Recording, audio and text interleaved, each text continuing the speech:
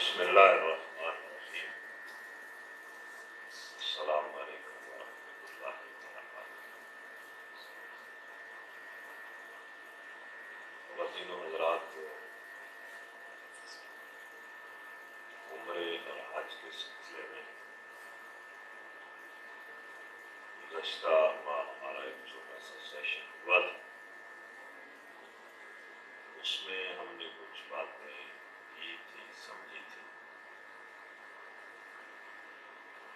اگر آپ کو یاد ہو، ویسے بندے کو زیادہ یاد نہیں رہتا۔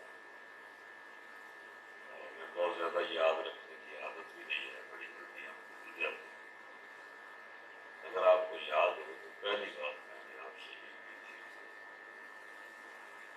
کہ اس حج کے فریضے کی جو ادائیگی، اس کی ادائیگی کی جو توفیق آپ کو مل رہی ہے، اس فرض کو ادا کرتے اس توفیق کی قدر اپنے دل میں پیدا کریں اور اپنے آپ کو یہ سمجھائیں کہ یہ مجھ پر اللہ کا بہت بڑا احسان ہے اور اس کی رحمت ہے کہ وہ مجھے اپنی طرف سے اس فرض کو ادا کرنے کی توفیق بخش رہا ظاہر ہے یہ بات ہمارے لیے سمجھنا مشکل نہیں ہے کہ ہر اس مسلمان پر فرض ہے جو صحت کے اعتبار سے مال کے اعتبار سے وہاں پہنچنے کی استطاعت رکھتا ہو اس پر حج فرض ہے تو اس کا مطلب یہ ہے کہ جس بندے کو حج کی توفیق مل رہی ہوتی ہے اسے گویا اللہ کی طرف سے ایک عائد شدہ فرض کو ادا کرنے کی توفیق مل رہی ہے اس توفیق پر اسے اللہ کا شکر ادا کرنا چاہیے کہ مجھ پر اللہ کی طرف سے جو ایک فرض تھا اس کو میں پورا کرتا ہوں پہلی بات یہ اور دوسری بات یہ ہے کہ حج کا فرض بندہ جو ادا کرتا ہے اس کو اللہ کا اس حج کے ذریعے اللہ کا قرب نصیب ہوتا ہے اس کے اندر اللہ کی محبت اللہ کا خوف اللہ کے دین پر چلنے کا شوق اپنے سے معافی مانگنے کا ایک موقع آئندہ کی زندگی کو ٹھیک کرنے کا ایک موقع اسے مل رہا ہے اس لیے اسے مزید اپنے دل کے اندر شکر کے احساس کو پیدا کرنا چاہیے کہ مجھے اس حج کے ذریعے اللہ کا قرب حاصل ہوگا مجھے اس حج کے ذریعے توبہ کی توفیق ہوگی مجھے اس حج کے ذریعے کا شوق میرے میں پیدا ہوگا اور اس حج کے ذریعے میرے گناہوں کی مغفرت میں پیدا اس کا وسیلہ یہ حج بنے گا۔ اور پھر اس سے زیادہ جو ہمیں لالچ ہوتا ہے کہ ہماری بہت ساری دعائیں ہیں، حاجات ہیں۔ اللہ کے گھر میں جا کر، اس کے قریب ہو کر، ان بابرکت جگہوں پر میں اللہ سے دعا کروں گا کہ اللہ تعالیٰ میری دعاؤں اس لیے پہلی بات یہ ہے کہ حج کی توفیق ملنے پر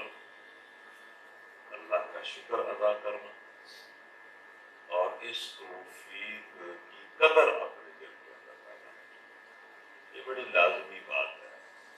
جس اچھے کام کی بھی توفیق ملے، اس اچھے کام کی برکت بڑھ جاتی ہے۔ اگر بندہ، بندے کے اندر جذبہ شکر کر میری پہلی گزارش تو یہ ہے اور میں یہ بار بار کرتا ہوں کہ اپنے اندر شکر کا جذبہ پیدا کرے قدر کرے اور ان دنوں میں بھی نماز کی شکل میں بھی اس کا شکر ادا کرے نفل نماز ادا کر کر کے بھی اللہ کی توفیق دے رہا ہے، اس کی توفیق کو مکمل کر میرا شکر ہے کہ مجھے توفیق دے رہا اس کے بعد دوسری بات یہ ہے کہ پچھلے سیشن میں ہم نے آج سے جو پہلے عمرہ حج کرتا ہے اس پر ہم نے بات کی تھی۔ اور میرا خیال ہے کہ بڑی حد تک تفصیل سے بات کی تھی۔ اس لیے اس ساری بات کو دوبارہ دہرانے کی بجائے اب میں فریضہ حج جو آپ نے ادا کرنا ہے اس کی ایک ایک بات جو ہے ترتیب کے ساتھ میں آپ کے سامنے سامنے رکھ دیتا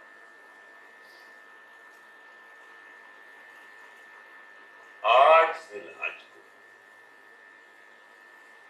قانون اور ضابطے اور طریقے اور سنت اور حکم کے مطابق آپ نے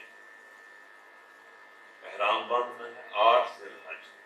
احرام باندھ کر آپ نے زور کی نماز مینا میں ادا کر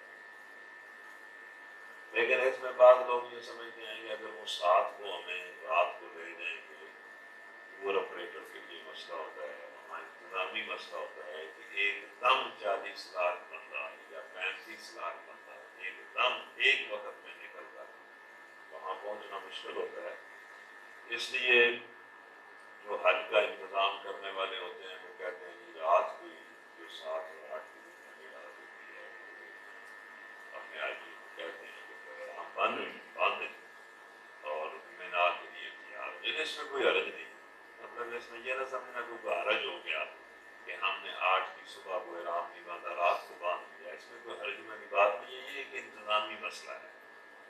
اور اس کو ٹیکل کرنے کے لیے اگر کوئی پورا آپریٹر کہتا ہے اور یا وہاں کا معلم کہتا ہے کہ آپ سات کو عشاء کے بعد تیار ہوتے ہیں احرام باندھ تو اس میں کوئی حرج نہیں۔ لیکن جو بات آپ نے دین میں رکھنی ہے وہ یہ ہے کہ حج کا آغاز ہوگا احرام باندھنے سے جس طرح عمرے کا آغاز ہوتا ہے نا احرام باندھنے سے اسی طرح حج کا آغاز بھی احرام باندھنے سے اور احرام جو ہے وہ دو چادروں کا نام نہیں ہے وہ بہت ساری چیزیں جو عام حالات میں انسان پر حلال ہوتی ہیں اس حالت میں حرام ہو جاتی ہے، اس لیے اس لیے اس کو احرام کہا گیا۔ جب آپ وہ احرام باندھیں اس میں آپ کو وہی بات ذہن میں رکھنی چاہیے کہ احرام کی دو چادریں اللہ کے حکم اور اللہ کی بندگی اور اللہ کی عبادت کا لباس ہے یعنی اللہ عمرے یا حج کے لیے یہ پسند کرتا ہے کہ ایک لباس پہن کر لوگ یہ عبادت کریں اس میں جو بات فوراً بندے کے ذہن میں آتی ہے یا آنی چاہیے وہ یہ ہے کہ اصل میں اللہ کی بندگی ہی بندے کا لباس ہے کہ بندے کا اوڑھنا بچھونا زندگی میں اللہ کی غلامی ہونا یہ جو احرام کی دو چادریں ہیں، یہ احساس بیدار کرتی ہے کہ بندے کی زندگی کا جو لباس ہے، وہ اللہ کی بندگی یہی بندگی ہی بندے کے لیے اوڑھنا بچھونا ہے یہ جو لباس پہنایا جاتا ہے نا حج کے موقع پر اور عمرے کے موقع پر یہ اس احساس کو بیدار کرنے کے لیے ہے کہ غلامی اور حکم کی پابندی اور اطاعت اور اللہ کے سامنے سر تسلیم خم کرنا، یہی میری زندگی کا اوڑھنا بچھونا اور دوسری بات اس دن میں نے کہا تھا کہ سب مسلمانوں کو ایک طرح کا لباس پہنا کر حج عمرہ کروانا اس سے مقصد یہ بھی ہے کہ تم امت وحد ایک اللہ کے بندے ہو اور تم ایک ہی۔ تمہارے اندر یہ سارے فرق و امتیاز جو ہیں، یہ عارضی ہیں۔ تم ساری امت جو ہے، وہ ایک توحید اور رسالت کی وحدت کے اندر بندے اس وحدت کے تصور کو بھی پیدا کرنے کے لیے اللہ تعالیٰ نے ایک ایک نبی صلی اللہ علیہ وسلم نے یہ سنت اختیار کی ہے کہ ہر بندہ ایک ہی لباس ہے پھر اس میں یہ بات بھی علماء لکھتے ہیں سمجھاتے ہیں کہ ان دو چادروں کی مشابت ہے کفن کے ساتھ۔ بالکل جب بندہ مرتا ہے، تو اس وقت یہی دو چادریں اس کے حصے میں تو یہ علماء کی تقریروں میں یا کتابوں میں ہم نے یہ بات پڑھی ہے کہ جب یہ احرام بند ہو تو یہ احساس بھی اپنے ذہن کے اندر پیدا کرے کہ میری زندگی بھی اللہ کے لیے ہے اور میں اللہ ہی کے لیے مرنے کے لیے بھی ایک ذرا وہ بات ہے کہ یہ بندہ ہر وقت سر پر کفن ہے۔ کہ مرنے کے لیے تیار اللہ کی ہی کی اطاعت میں زندگی کا عہد کرو اور اللہ ہی کی اطاعت میں مرنے کے لیے تیار۔ یہ ایک بہت بڑا احساس ہے جو اس احرام کے لباس کے ذریعے بندے کے اندر پیدا ہوتا ہے یا ہونا چاہیے۔ کہ بندہ بالکل اس کے لیے آمادہ اور تیار ہو کہ میں ہر وقت اللہ کی راہ میں مرنے کے لیے تیار اور جو بندہ اللہ کی راہ میں مرنے کے لیے تیار ہوتا ہے، وہ اللہ کا نافرمان نہیں ہو سکتا۔ نافرمان وہ ہوتا ہے جسے زندگی سے بڑی محبت ہے، جسے زندگی کی چیزوں سے محبت ہے۔ یہ احرام اس دنیا کی چیزوں سے کی محبت سے بندے کو اوپر اٹھاتا ہے۔ اور اللہ کے راستے میں مرنے کے لیے اسے آمادہ اور تیار کرتا ہے۔ اور پھر یہ احرام بندہ مومن کو یہ سمجھاتا ہے کہ یہ جو خوراک اور پوشاک ہے نا پوشاک لباس، اس میں اگر سادگی اختیار کرو گے تو اللہ کی بندگی کر سکتے ان دو جادو کو پہنا کر اللہ تعالیٰ بندہ مومن کو زندگی میں ساد، سادگی کا بھی درس دیتا تو ان چیزوں کو ذہن میں رکھ کر وہ دو چادریں باندھیں اور حج کے لیے غیر جی بھی آپ کو احرام باندھیں گے اور اس وقت آپ حج کے پہلے دکان کو پورا کر دیں۔ گے اور احرام باندھ باندھتے ہی جو اعلان آپ نے کرنا ہے اپنی زبان سے، وہ یہ ہے، لبیک اللہ لبیک لبیک لا شریک لک، لبیک، ان الحمد والنعمت لک والملک لا شریک۔ یہ آپ کا ترانہ شروع ہو جانا ہے، احرام احرام بند دے وضو کریں غسل کریں وضو کریں تو دو چادریں باندھیں دو نوافل ادا کریں اور ساتھ ہی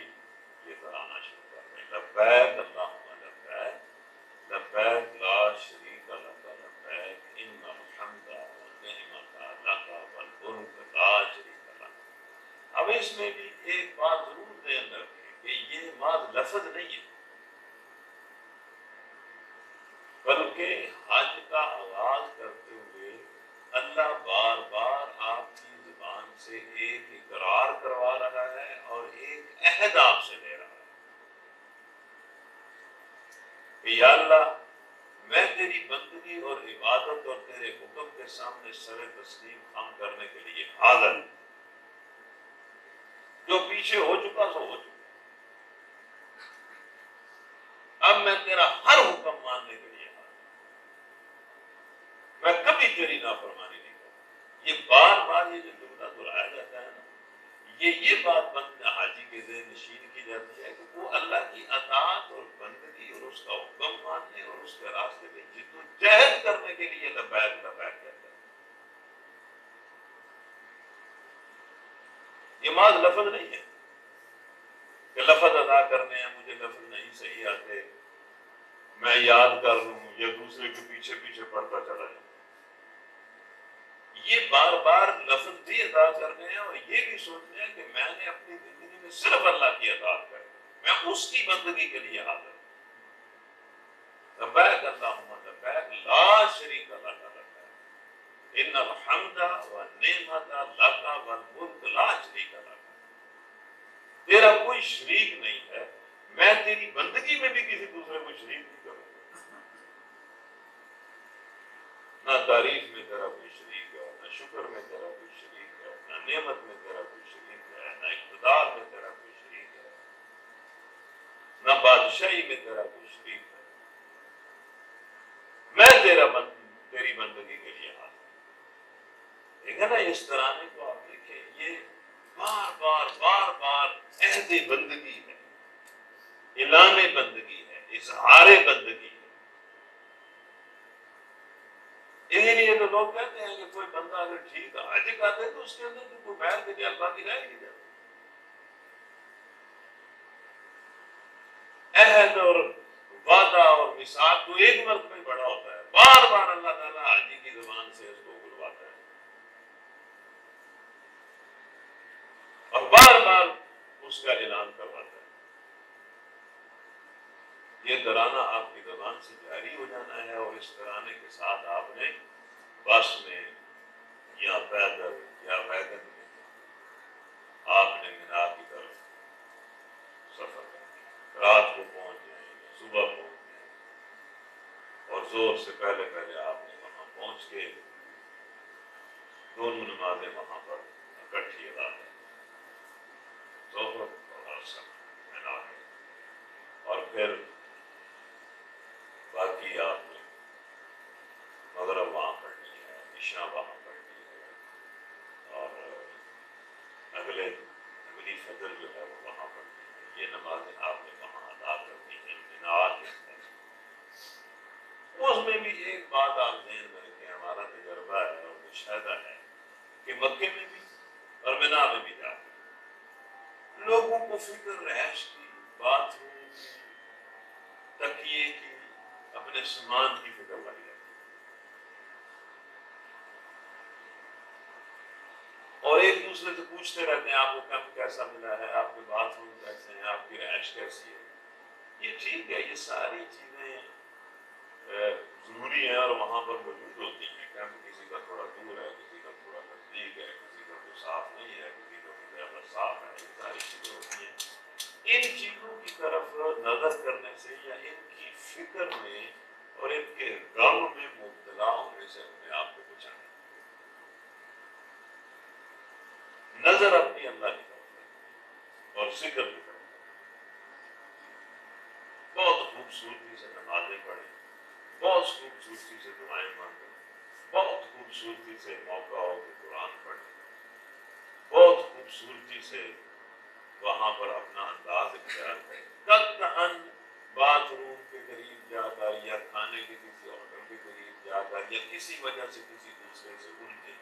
احرام کی حالت میں کسی دوسرے سے الجھنا اور کسی دوسرے کے حق کو مارنا اور خود آگے بڑھ کر کوئی چیز حاصل کرنے کی کوشش کرنا۔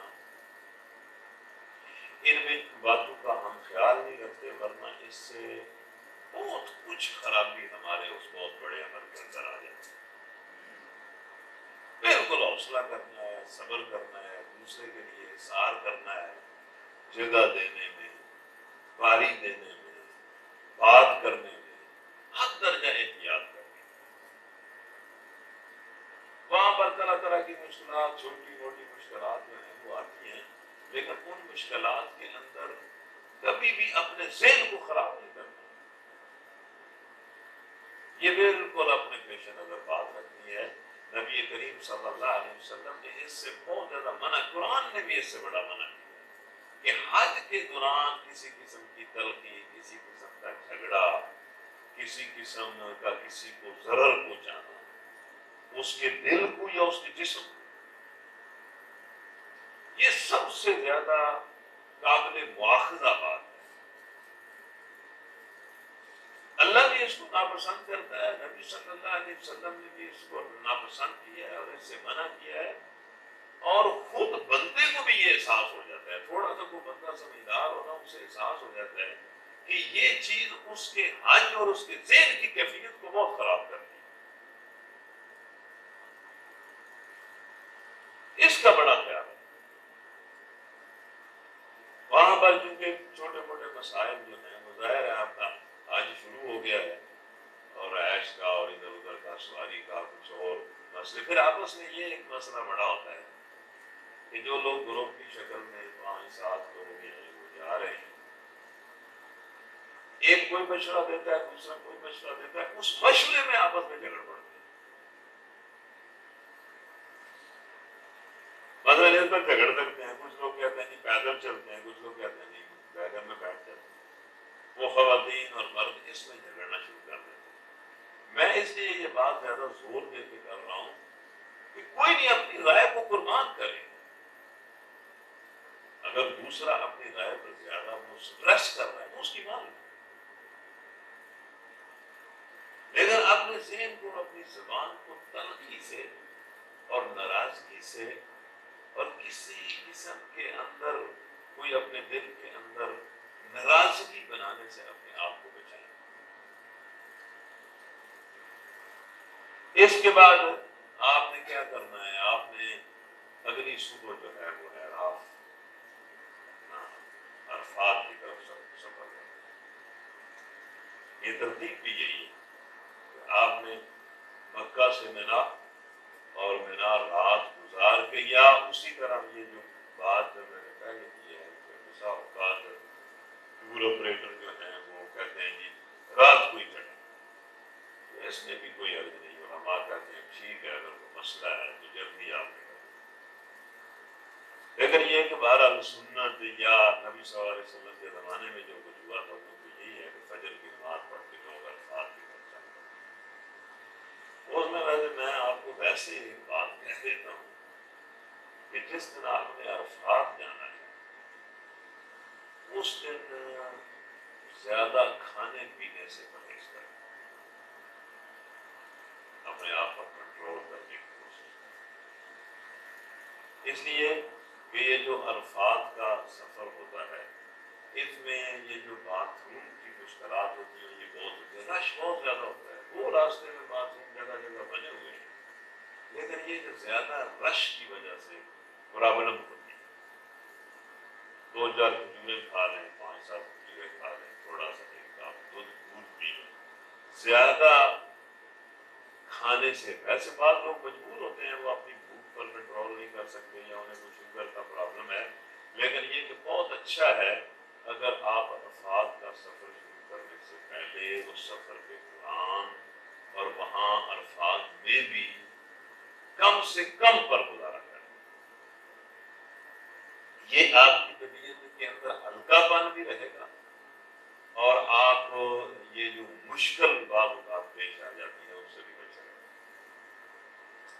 بعض اوقات بڑی مشکل لوگوں کو پیش آ جاتی ہے بعض اوقات تو خیر ٹھیک ہے بندہ مجبور بھی ہو جاتا ہے لیکن یہ کہ یہ کوشش کرنی چاہیے کہ اس دن کھانے پینے پر بندہ کنٹرول کرے وہاں سے آپ نے نکلنا ہے اور یہ کہتے ہوئے بار بار یہ کہتے ہوئے لبیک اللہم لبیک لبیک اللہم لبیک لبیک اللہم لبیک کہتے کہتے آپ نے الفاظ اب یہ الفاظ کی جو حاضری ہے، یہ حج کا رکن آسم ہے۔ علماء کے نزدیک کسی بھی اور حج کے اندر ہونے والی کسی بھی اور کمی کا کوئی نہ کوئی کوئی تلافی ہو سکتی ہے، لیکن عرفات نہ پہنچنے کی کوئی تلافی نہیں۔ جو بندہ نو ذی الحج کو عرفات نہیں پہنچا، اس کا آج اس کو پھر آج کا وہ بیمار ہو گیا ہے، کچھ ہو گیا ہے، اگر وہ وہاں نہیں پہنچ سکا تو اس کا حج اور اس کی مدت نو ذی الحج سے لے کر اگلے دس کی سہری تک لوگ بتاتے ہیں کہ اس دوران وہاں کوئی پہنچ جائے تو اس کا حج ہو گیا، اگر نہیں پہنچ سکا تو اس کا حج تو یہ رکن عزم ہے۔ حاضری دینا اللہ تعالیٰ کو یہ بات بڑی پسند ہے کہ اس کے بندے اکٹھے ہو کر، سارے مسلمان اکٹھے ہو کر اس کے سامنے اس کا ذکر کریں، اس سے دعا کریں، اس کے سر مسکوت ہوں، اس کی اطاعت پر بیٹھ رہیں۔ اسی لیے سال میں وہ ایک بار دنیا بھر کے مسلمانوں کو میدان الفاظ میں بیٹھا کرتا اللہ کو اکٹھے ہو کر بندگی مسلمان کی، مل کر بندگی کرنا اللہ کو بڑا پسند ہے، اسی لیے یہ پنجگانہ نماز اس نے فرض کی ہے جماعت پھر اس نے جمعے کی نماز فرض کی ہے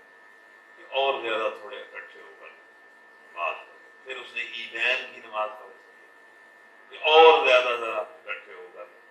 میرے سامنے حاضری ہو۔ پھر اس نے یہ حج فرض کیا ہے۔ کہ ساری دنیا کے مسلمان سال میں ایک بار اکٹھے ہو کر جو ہے وہ میرے حضور بندگی کیا جاتا ہے تو عرفات کی حاضری اللہ کو بڑی پسند ہے۔ وہاں جو بندہ پہنچتا ہے، اس دن دعاؤں کی قبولیت کا وقت ہوتا ہے۔ حدیث میں یہ بات آتی ہے کہ اس دن دعائیں قبول ہوتی تو اس دن کو ضائع نہ کرے کہیں جا کر ٹکانا لگا لیں۔ بجائے ادھر ادھر کہیں اور ذکر کریں اسکار کریں، دعائیں مانگیں، کھڑے ہو کے دعائیں مانگیں، تھک جائیں تو بیٹھ کے دعائیں مانگیں، خاص طور پر یا وہ دو نمازیں ختم ہو جاتی ہیں، آپ امام کے پیچھے پڑھیں یا بطور خود پڑھیں۔ اس میں بھی ایک تھوڑا سا یہ ایک اشارہ میں کر دیتا ہوں کہ مسلمانوں کے اندر ایک اختلاف سا ہے کہ ان دونوں نمازوں کو الگ الگ پڑھنا چاہیے یا اکٹھے پڑھنا چاہیے امام کے پیچھے پڑھنی ہے تو پھر تو پڑھنی اکٹھی ہے۔ اس نے دونوں نمازیں پڑھا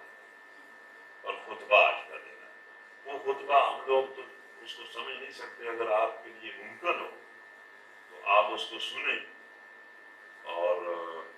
اس کا ترجمہ اگر کوئی بندہ آپ کے کیمپ میں آپ کو سنا دے تو یہ تو ایک غنیمت ہے۔ لیکن یہ کہ بہرحال اگر آپ امام کے پیچھے دو نمازیں نہ پڑھیں تو پھر مسلمانوں کے اندر یہ فکی اختلاف سا ہے۔ وہ دونوں نمازیں کیمپوں میں اکٹھی پڑھنی ہیں زور اور اثر کی یا الگ الگ پڑھنی تو اس میں کوئی عرض نہیں ہے۔ بالکل آپ اکٹھی پڑھ لیں تب بھی ٹھیک ہے، الگ الگ پڑھ لیں تب بھی ٹھیک اگر کیمپ کے لوگ زیادہ اس پر متفق ہو جائیں گے، اکٹھی پڑھ لیں تو اکٹھی پڑھ اگر کیمپ کے لوگ اس پر متفق ہو جائیں گے، نہیں، ہم نے اپنے اپنے وقت میں پڑھنی ہے، تو بھی ٹھیک اس میں بھی قطر کوئی جھگڑنے کی ضرورت نہیں ہے۔ یہ وہ فکی اختلافات ہیں یاد رکھیں ان فکی اختلافات کے اندر جمہور علماء میں سے کسی کے طریقے پر عمل کر لیں جو اختلاف ان مسائل کے اندر ہو جاتا ہے، ان میں سے کسی بھی طریقے کو آپ اڈاپٹ کر لیں اور اس طریقے کو اڈاپٹ کر لیں جس میں